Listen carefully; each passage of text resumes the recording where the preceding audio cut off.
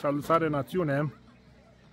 Astăzi ne aflăm la Cascada Bâlea, la cabană,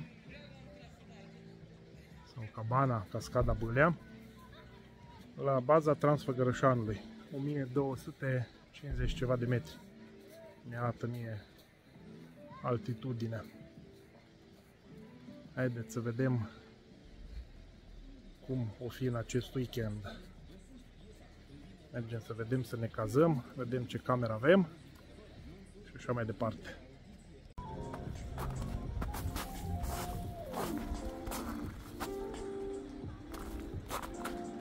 Uh. Să vedem mâine cum o să fie. Se anunță puțin înorat.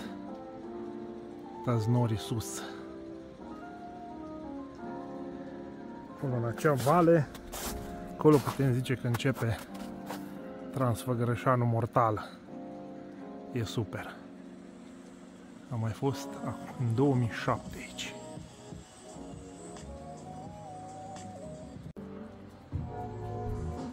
Și cam așa arată cabana Cascada Bâlea.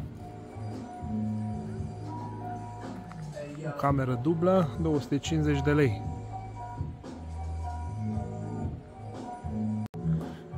Am primit cheia cu cartelă. Vedem cum arată camera.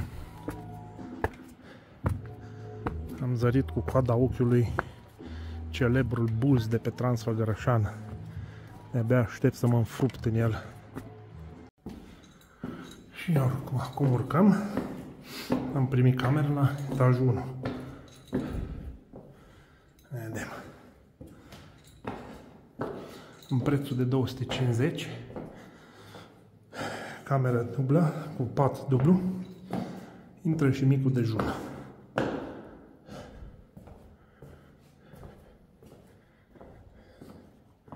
Da, față de 2007 e renovat. Uși termopan, gresie, super.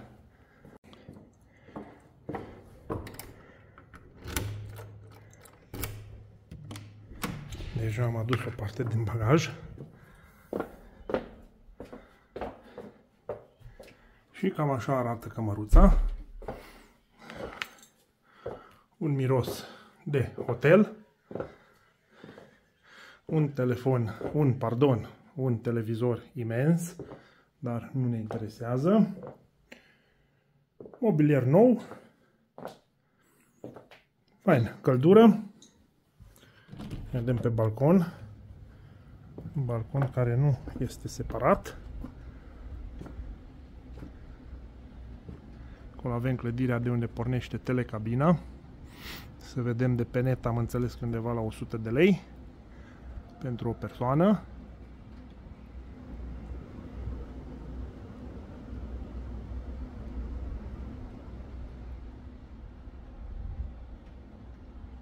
Să vedem și baia.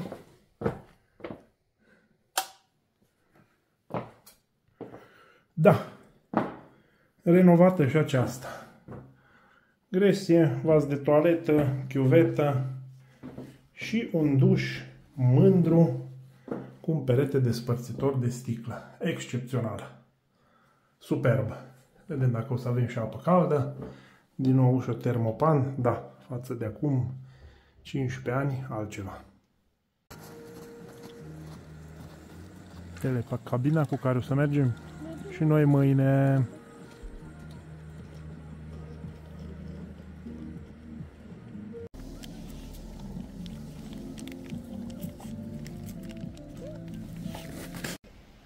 Și iată sus, de unde se circulă cu mașina cele tunele cont care apără turiști, autoturismele de căderile de piatră.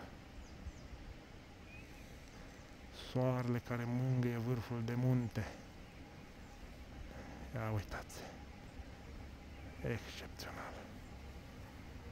Frumos. Și cum mai vine o telecabină. Iată. acum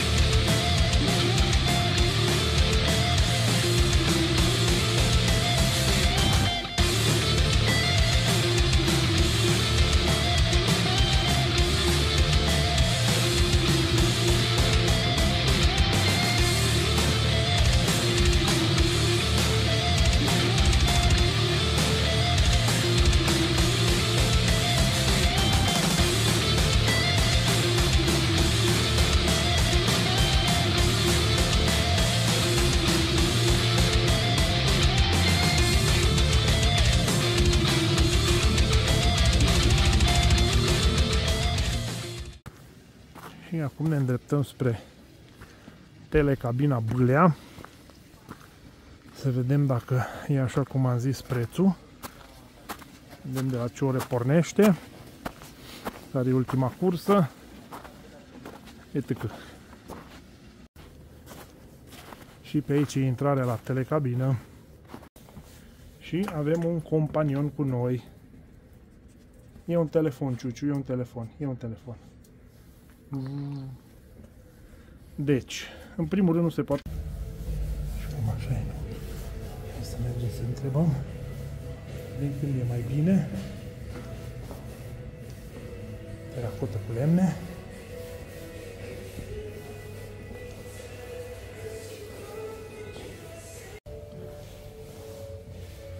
Cam așa e culoarul pe unde se urcă, se coboară. Undeva la vreo înălțimea a două etaje. Am întrebat și ar fi bine undeva în jurul orei 9, deși unii se pun la coadă din spusele celui care se ocupă la ora 8 deja. Deci undeva pe la 9. Și încă un o informație. Uh, plata biletului se face sus, la Bâlea Lac, la cota 2050. Aici, după cum vă spuneam, este undeva altitudinea la 1250. Mâine sper să ajungem să explorăm, să vedem și dacă se poate caza pe acolo și ce prețuri sunt. Că eu știu doar de vreo două pensiuni. Bălea Lac și, nu mai știu, nu mi se pare. Vila lui Ceaușescu. Și pe potecuța asta pe aici, prin această pădure de brazi, uh, acolo se vede sus, sus, sus, sus, sus, sus acolo așa, e cascada Bâlea. Și pe o potecuță pe aici prin pădure se poate ajunge. Deci, cred că se și vede. Iată cascada Bâlea.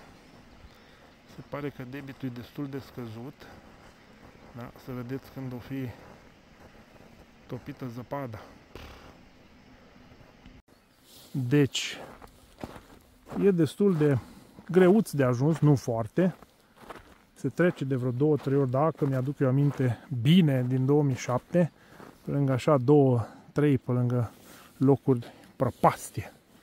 Și la 30 de centimetri hău în jos. Dar e super. Cu grijă și cu băgare de atenție, cel puțin când se ajunge la baza cascadei, pf, trece toată oboseala. interzis pe timpul iernii. Se tot discută să rămâne deschis și pe, cur, pe timpul iernii, dar avem noi bani și timp de așa ceva. Să curățăm drumul non-stop. În fine, niște peisaje superbe, un aer extraordinar de curat, nu e foarte frig, Fain. Pentru ziua de azi ne oprim aici. Vă mulțumesc că vă uitați la vlogurile mele. Până la o nouă revedere vă doresc sănătate maximă și să ne vedem cu bine într-un alt vlog. Ciao!